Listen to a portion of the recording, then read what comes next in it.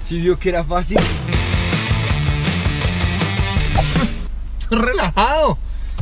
Oiga, ¿a qué es que tenía que recoger a su novia? Ya se quedó sin paseo. Bueno, Roberto, cualquier cosa me avisa, ¿listo? Ay, no me rete, de verdad. Crecen tan rápido.